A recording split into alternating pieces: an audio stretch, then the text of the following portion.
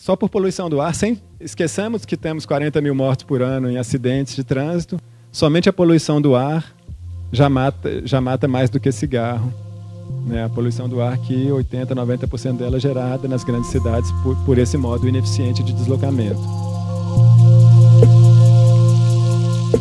Então, nós temos campanhas do Ministério da Saúde contra cigarro, temos campanhas do Ministério da Saúde né, questão da dengue, mas a poluição do ar gerada principalmente por automóveis mata mais do que a dengue e a AIDS juntas.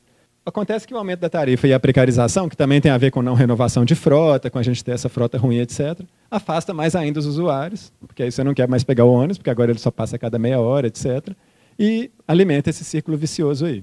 O resultado é gente migrando para moto e carro, essas pessoas a cidade se congestionando, a cidade aumentando seus acidentes, a cidade tornando seus espaços públicos mais difíceis, algumas pessoas morrendo, né, algumas classes morrendo mais do que outras, se acidentando mais do que outras. Esse é o ciclo que, quando eles falavam lá, né, não é por 20 centavos, eu acho que é importante esse ciclo, esse ciclo a gente ter é, ele em mente. Assim, não é por 20 centavos o aumento da tarifa e esse ciclo se retroalimentando, ele impacta a cidade como um todo, as cidades como um todo, em muitos aspectos, de poluição do ar, de espaços públicos, etc., disso que a gente vem falando. O que a gente costuma falar muito de Japeri, né? É, o problema de Japeri é que falta cidade em Japeri, né? Falta, falta todo o restante, porque Japeri é uma cidade dormitória, as pessoas têm que sair. Então, a mesma análise a gente pode fazer de várias é, áreas do Rio, que ao invés de a gente investir num, num reforçar centralidades existentes, criar novas centralidades, não. A gente vai se espalhando nesse território, né? então triplicando o espaço ocupado, mas continua dependente de centralidades únicas, né? um modelo monocêntrico de ocupação.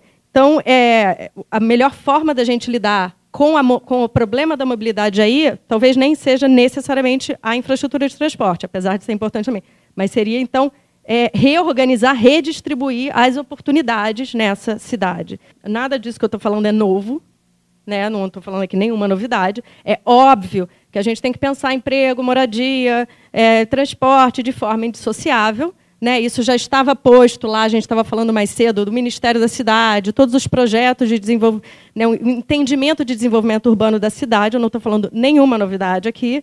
Né? Então, talvez exista, na verdade, um objetivo claro e explícito de se manter a desigualdade, né? de se manter esse apartheid social. Então, ou a gente encara isso e tenta lidar com esse fato, ou a gente continua fazendo de conta que a gente quer, de fato, promover cidades inclusivas, né? É, que é um pouco quase que uma falácia. Talvez a solução para os nossos problemas democráticos, de sociedades cada vez menos democráticas, talvez seja na cidade que a gente consiga revigorar e salvar a democracia. Então, eu acredito muito na cidade como esse espaço, e acredito que, acho que a cidade é o ponto de partida para a gente resolver todos os nossos problemas centrais no mundo. A gente tem uma crise ambiental uh, sem precedentes no mundo e que ela só vai ser resolvida se as cidades realmente se mexerem para mudar isso. Então, desde a questão de transporte e mobilidade até outras questões, lixo, de, de energia e daí por diante. É, mas também há, há solução para a nossa crise democrática.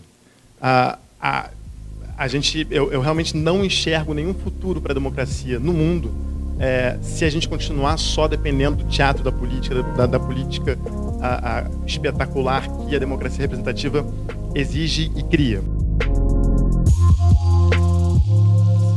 Essa intensificação de acidentes, essa intensificação de mortes, mas de trânsito como um todo, ela vai gerando uma cidade em que os centros ficam cada vez mais difíceis para outros tipos de uso que não seja esse tipo de deslocamento. Né?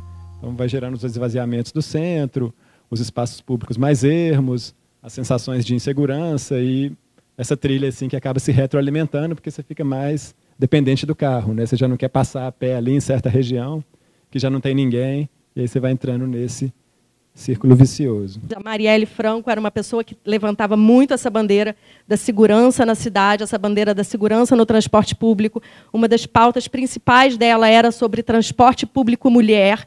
Né? E para a mulher é altamente inseguro estar nas ruas, estar dentro dos ônibus, estar no ponto de ônibus, estar nos terminais.